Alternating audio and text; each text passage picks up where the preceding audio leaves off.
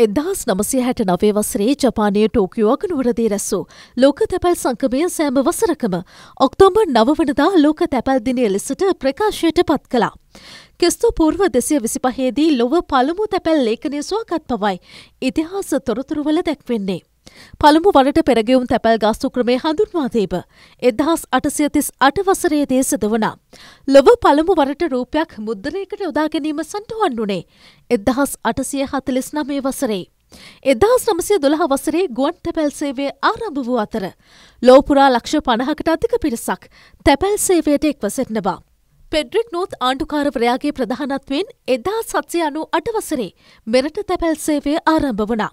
වික්ටෝඩයා රැජනගේ රූපය සහිත මෙරට පළමු තැපැල් මුද්දරය නිකුත් කෙරුණේ එදහස් අටසය පනස් හත වසරේ අප්‍රේල් පළමුුවනදායි.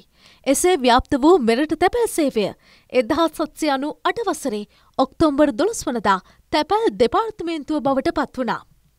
පෝස් මාස්ටර් ජනරාල්වරයා වශයෙන් පත් කෙරුණේ කැප්ටන් ඒ කෙනඩි මහතායි.